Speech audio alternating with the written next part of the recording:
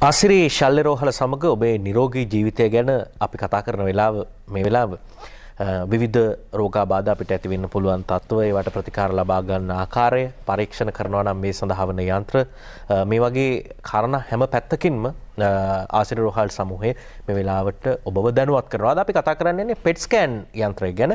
ඇතැම් විට ඔබට වැදගත් වන ඇති පිළිබඳව අවබෝධයක් තබා ගැනීම අවශ්‍ය නිසා අපි ගැන සාකච්ඡා කරන්න ආරාධනා කළා. විශේෂඥ විකිරණ වෛද්‍ය කාන්තා සමර වික්‍රම වෛද්‍යතුමියට අයිබෝන් ඔබතුමියට. අපි මේ මුලින්ම දල අවබෝධකුත් එක්ක පැහැදිලි කිරීමක් කරගමු. වෛතුමේ පෙට් ස්කෑන් එකක් මොකක්ද? පෙට් ස්කෑන් යන්ත්‍රයක්. පෙට් ස්කෑන් කියන්න ඇතර මේ අකුරු තුනෙන් දක්වන්නේ පොසිට්‍රෝන් එමිෂන් ටෝමෝග්‍රෆි කියන එක. පොසිස්ට්‍රෝන් කියන්න ඇතරම විකරණශීලී අනුවක් ද්‍රව්‍යයක්. එමිෂන් කියන්න ඔබට තේරණ ඇති කිරණයක් පෙටවීමක්. තට ටෝමෝග්‍රෆි කියන යන්ත්‍රයේ කොලිට් විශේෂත්වය තර මේකද අප ඇත්තරම කරන පෙත්ස්කෑන් කියර තම සාමාන්‍ය ව්‍යවහරි දක්වන්නේ මේක ඉතා වටින පරිශ්න මංගතනය ලෝකයේ දැරට තිබෙන ස්කෑන් වර්ග බහල්තින සිට ස්කෑන් එමරයි ස්කෑන් අට සංස්කෑනට වැඩිය ඉහල ගුණාත්මක බවකින් තියෙන ඉතාම නවීනතම පරීක්ෂණ ක්‍රමයක් දැනට ලෝකෙ පවතින. මේක විශේෂයෙන්ම අපි දැන් හුඟක් දුරට ලෝකෙ භාවිතා කරන්නේ පිළිකාරෝගින් වෙනුවෙන්. තවත් අවස්ථා තියෙනවා මොලේ නොෙක් ආබාධ තත්ත්වයන් දැන ගැනීමට නමුත් විශාල වශයෙන් විශේෂයෙන් අපි ලංකාවේ දැනට සියට අනු පහක්ම පාවිච්චි කරන්නේ කැන්ස පිළිකාව රෝග අධීක්ෂණය කරන්න. එතකොට මේකද අපි පාවිච්චි කරනවා මේ විකිරණ ශීලී ද්‍රව්‍යයක්. තවත් ඖෂධයක් එක්ක එකතු කිරිලා ශරීරගත කිරීපෙන් තමයි මේක පටන් ගැන්මක් කෙරෙන්නේ.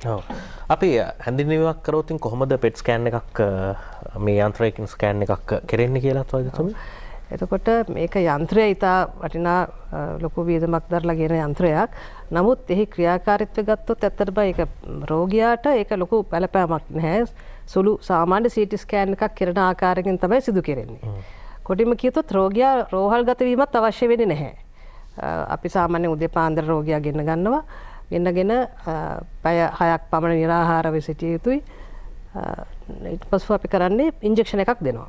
ඉන්ජෙක්ෂණ එක ඇත්තටම සාමාන්‍යයෙන් අපි කරන්න FDG කියන එක එකන ෆලෝරෝඩියක්ෝ ගලූකෝස් ගලූකෝස් ද්‍රාවණයක් සම්බන්ධ කරනවා විකිරණ ශීලී ඉතා කුඩා ප්‍රමාණය විකරණ ශීලි ද්‍රව්‍යයක් සමඟ.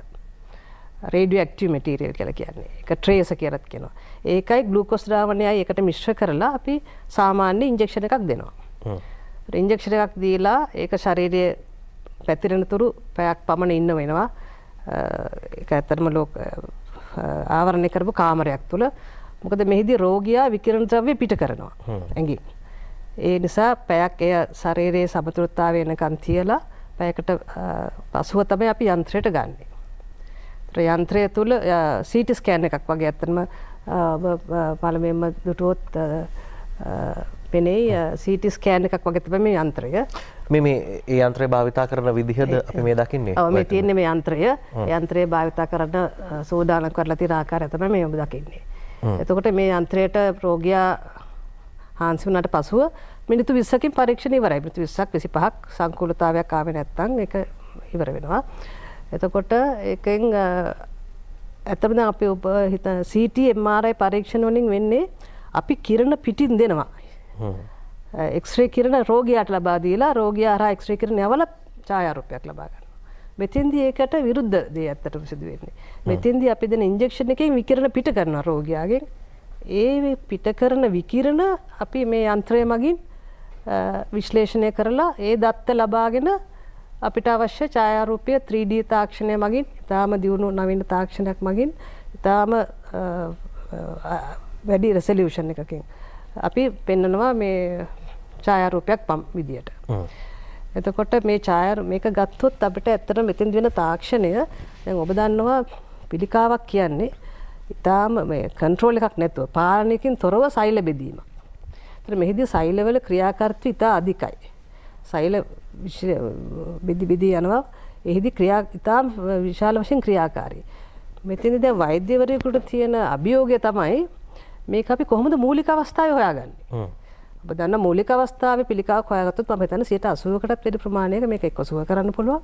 එක ඉතා හොඳ තත්වකින් පාලනය කරන්න පුළුව එම කර පෝස්ටවන තරම් තියෙනවා. ම තිය වැඩිපුර දැන් විශේෂයම අලුත් ප්‍රතිකාරත් සමඟ පිළිකාවකන වචන දැ බයතු නෑ ඇතරම් පිළිකාවකන වචනය වෙනස් වෙන හොඳ කළ මගේ දස ද ලෝකේම වෛද්‍යවන තියෙන චැලෙන්ජ එක අභියෝගය තමයි මේක කලින් සොයාගෙන මේ ඔක්කොම නවීන උපද සිටස්කෑන් එමරස් කෑන් දියුණුන ඊළඟට පෙට්ස්කෑන් යන්ත්‍රාව එතොට එක වෙනස දැන් සීටMR කියන්න ඇතරම අපිට හැම්වෙලාම වියහය පෙන්න්නන්නේ අපිට යම්කිසි පටකයක අඩුවීමක් වැඩිවීමක් ගැටිත්තක් ඒක කුඩාවීමක් වර්ධනයක් පෙන්නනවා විවහාත්මකව මෙතින්දි ඉතා විශාල වෙනසක් තියෙනවා පෙට් ස්කෑන් එකට ගියාම.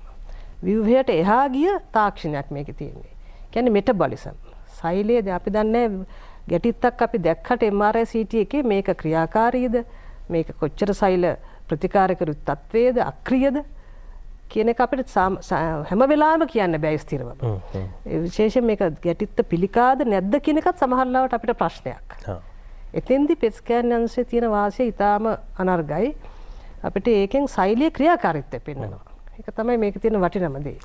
ඒකින් කිවෙනද කොයි මොහතකාරි සිට ස්කෑනර එකකින් හරි එමර ස්කෑනරකින් හරි අරගන්න දත්ත නිවැරදි නොවෙන්නත් පුළුවන් කියල සම නිවැරදින වෙනේ සම්පූර් නිවැරදි. නමුත් ඒකට හා සංසන්ධනය කරහම අරක තියෙන ඉට එහා අපිට දත්ත ප්‍රබාඩ දැනගන්න පුළුවන්. මේ ගැටිත්තේ මේ සයිලිය ලෙවල්ලෙක් සයිලීය ලෙවල්ලෙක් ගැන මට්ටමෙන්. සයිලයේ නිියක්නස් මට්ටමේ මේකද අපි සමහට ගැටිත්තක් පේනවා මේක ක්‍රියාකාරිද දන්නේ නෑ. එතකොට වෛද්‍ය විශේෂඥයාට දැනගන්න ඕනේ මේක අපි තාම බේත් කර යුතුද නැද්ද? ඒ தත්ත්වය අපිට හොඳටම සූක්ෂමව කියන්න පුළුවන්. කියන්නේ සියුම් තත්වයන් පවා දැනගන්න කරන්න පුළුවන්. දැන් සිට ස්කෑනර එකකට වඩා එමරයි ස්කෑන් එකකට වඩා පෙට් ස්කෑනර එකකින් ස්කෑන් එකක් කරගන්න එක රෝගයාට ලැබෙන අමතරවාසි මොනද අමතරවාසියක් තියෙනවා මොකද දැන් වෛද්‍යවරකුට කැන්ස එකක් කියන්නේ අපිට මුලින්ම අපිට සමහර දැන් බ්ලඩ් ටෙස්ට් එකක් ඩේ පරීක්ෂණයකින් සැකයක් පහලවී මෙයාට කැන්ස එකක්ද මේ තියෙන්නේ කියලා. නමුත් සීටිවල එමාරයවල මේක නොපෙනෙන තරම් කුඩා වෙන්න පුළුවන්. අපිට ඒක දැක්කත් මේක ස්ථිරව කියන්න බෑ සමහර මිලිමීටර් ගානක වෙනසක් තියෙයි පොඩි තිතක් වගේ.